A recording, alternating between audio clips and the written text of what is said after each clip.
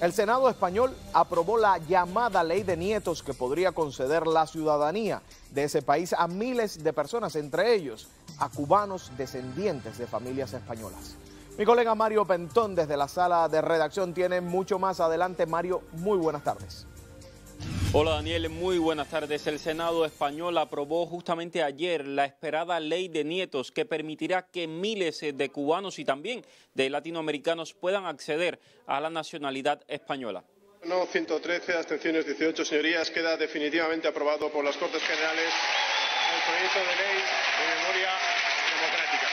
La ley de memoria democrática que abre la posibilidad para que cientos de miles de cubanos descendientes de españoles puedan optar por la ciudadanía de esa nación europea fue aprobada el miércoles en el Senado de Madrid. Es una ley que básicamente va a permitir casi a 400.000 cubanos solicitar la ciudadanía española, pero a muchísimos más hispanoamericanos como personas de Colombia, de Perú, de Argentina, que se quedaron fuera del plazo para solicitar la, la, ciudadanía española en 2007, allá cuando se aprobó la ley de memoria histórica.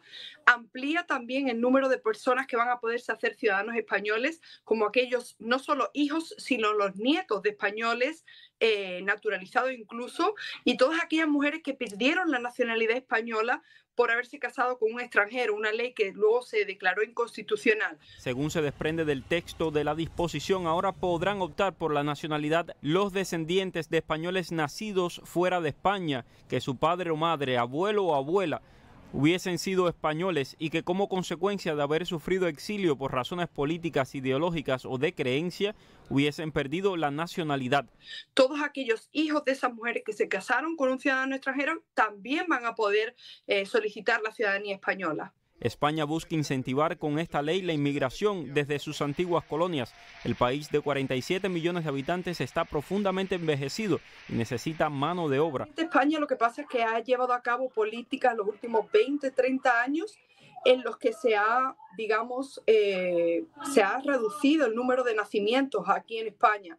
¿Y qué pasa? Que eso eh, ha hecho que la izquierda, sobre todo la izquierda española, haya pedido la entrada masiva e incluso desordenada de cientos de miles, por no decir de millones, de inmigrantes africanos, de musulmanes.